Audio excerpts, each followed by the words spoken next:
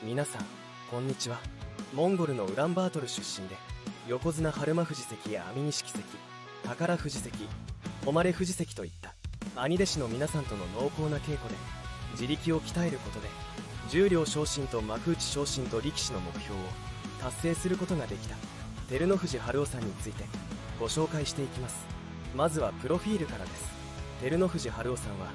モンゴル国ウランバートル市出身で伊勢ヶ浜部屋入門時は間垣部屋所属の現役大相撲力士で本名は杉野森青山といいます。身長は 192cm 体重 176kg 血液型は O 型で17歳の頃までスポーツとは無縁の生活をしていましたが自身の大きな体を生かしたいと考えていたこともあり母国モンゴルに在住していた入門前には横綱白鵬の父であるジグジドゥムンフバトに素質を見いだされ柔道などを習っていたそうです。そして2007年に母と来日し観光旅行をした折に偶然相撲部屋関係者に声をかけられて連日稽古を見学したことで大相撲の世界に魅了さ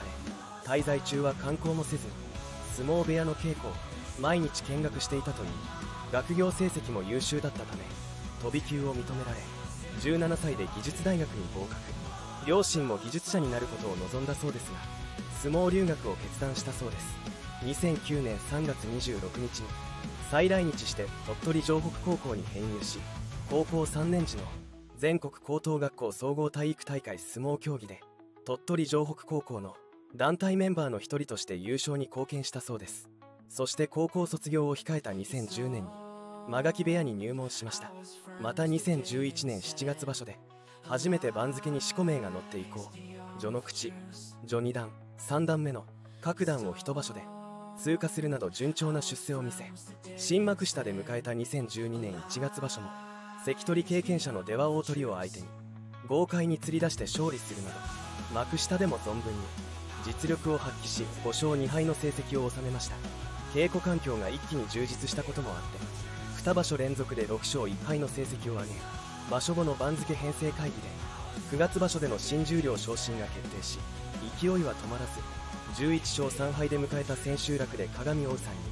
本割優勝決定戦と連勝し十両優勝を果たしました。そこから大関になられましたが怪我などあり十両に陥落しその後すぐ復帰し横綱まで昇進を果たした。史上初の力士であると言われています。そんな史上初の力士であると言われている。照ノ富士春夫さんは休場廃業危機3週間の休業満身創痍でも引退できないと噂されているようです。実際のところどうなのか調べてみたところ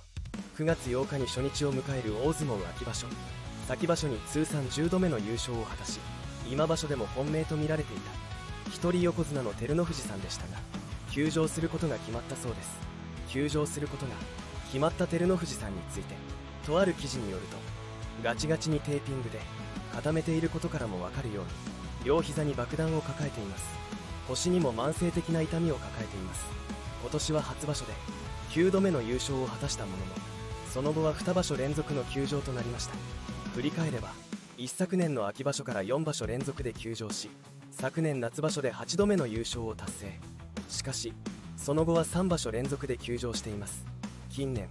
休場と優勝を繰り返しています。また休場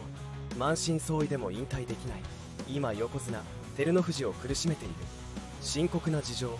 でも紹介したようにそれができない理由があると続いて引退後も協会に残るために必要な年寄り株を取得しておらず辞めるに辞められない状態です。伊勢ヶ浜部屋の後継者は照ノ富士と見られていますが部屋を継ぐためには伊勢ヶ浜親方と年寄り株を交換する必要があります。しかし照ノ富士は交換する年寄り株を持っていないばかりか取得の目途も立っていない状態のようです。伊勢ヶ浜親方は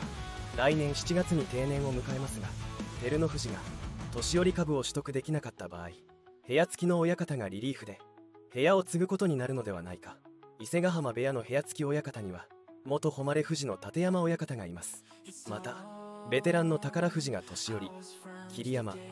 取得したという話もあります。こちらもリリーフ候補になるでしょうと言われています。ですが照ノ富士さんは伊勢ヶ浜部屋の後継者になる条件として伊勢ヶ浜親方に再雇用を断念してもらい年寄り伊勢ヶ浜を継承するというパターンも考えられますが条件面で折り合いがついていないようですね。そんな中で元横審委員長は再雇用の見送りをめぐり伊勢ヶ浜親方と照ノ富士との間で話し合いがあったようです。部屋と株の譲渡に加え延長分の給与の保証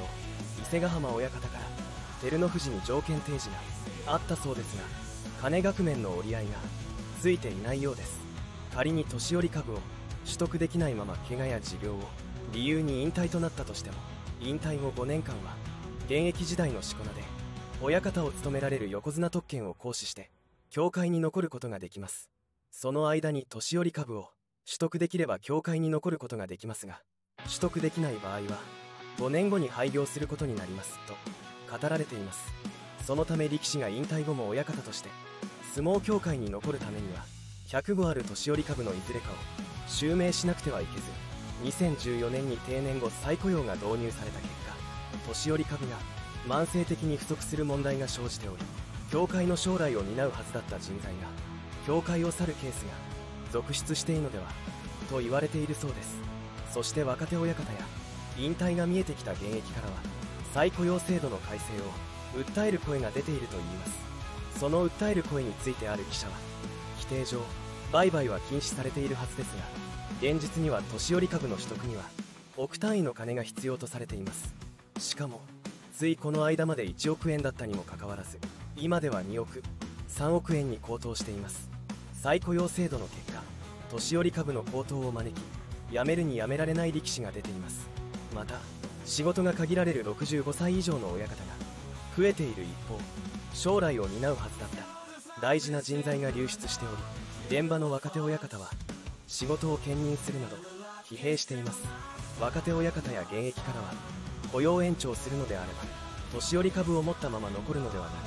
くしこ名で残ってほしい。それによって問題が解決するとの声が上がっています。彼らは再雇用を否定しているわけではありません。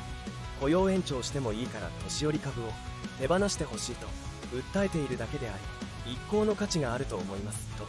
語られています。そして2024年9月現在は65歳以上の親方7人が参与という立場で再雇用されているそうで仮に制度の見直しが行われば7つの年寄り株が若手に渡り現場の運営も円滑に進むと思うので若手親方や現役の切なる声は協会上層部に届いてほしいですね。またある一部では休業された理由について噂が立っているとのことなので調べたところ